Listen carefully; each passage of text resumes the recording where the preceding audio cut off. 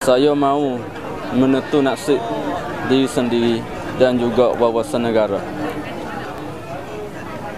Dan juga forum pada kali ini ni sangat baguslah bagi saya dan warga negara Patani supaya menjadi satu bangsa, satu bahasa dan juga satu dalam negara Patani.